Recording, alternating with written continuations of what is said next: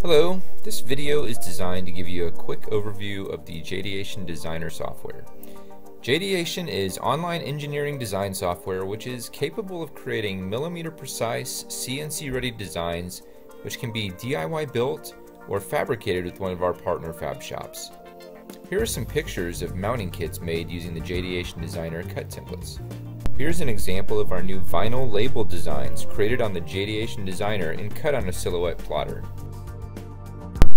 This is the Jdeation Designer.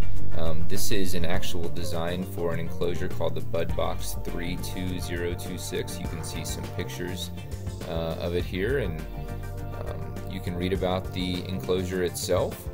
Um, included with this information, you can see what components are included in this design. You can see what hardware is included in this design as well.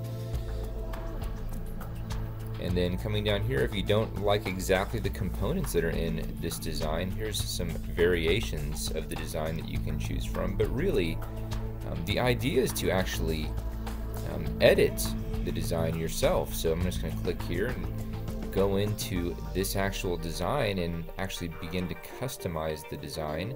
Um, you know, can select a component and maybe rotate it. Uh, I can actually insert a different component. A component can be electronics, it can be, um, in this case, I'll just insert like a fan or something like that.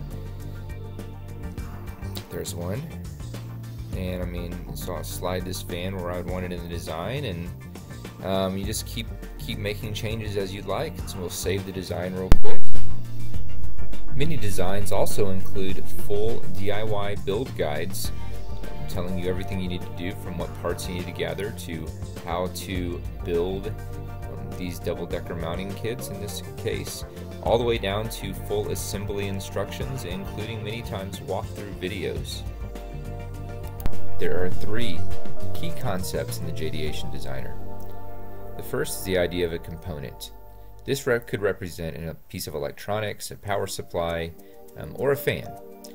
The next component is a base design. This typically represents an enclosure or some other kind of mount.